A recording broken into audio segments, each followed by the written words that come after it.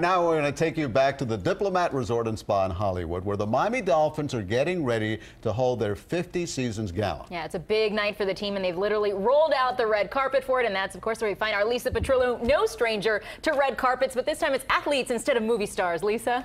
A totally different red carpet for me, guys, but a totally fun one as well. We are here with the handsome Manny Fernandez, number 75, am I right? That's it. On the 72 perfect season Dolphins team. That was fun. Huh? It had to be. Fun. Oh yeah. And so you're here in your alumni jacket, looking quite dapper, I might add. Well, thank you. Um, what does it feel like to be here? I know you're going to see some old friends. It's got to be a kind of a pinch me moment.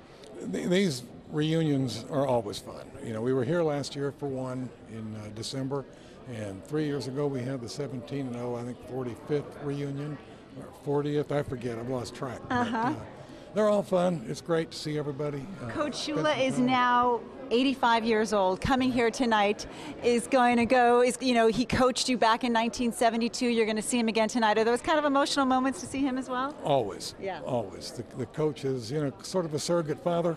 Yeah. Uh huh. Worked with him for seven years and loved every minute of it. Wow.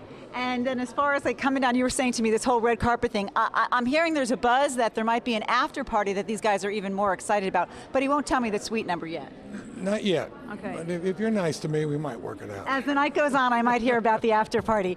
And you look very handsome. The beautiful jacket, of course, and that tie. Are you styled out for the night? Uh, my girlfriend Lori sort of picked it all out. Uh huh. she did a good job. Of course. You ready for a big night? Yeah. All right. Well, thank Yeah. you so much Thank for you, joining us. Enjoy the night. Good, great talking to you. Thanks Good so much. you. All right, we are back, and we're going to come back. We're going to have Vanessa a little later on with lots of players, lots more action, glitz, glamour, and football players. What more can you ask? Back to you.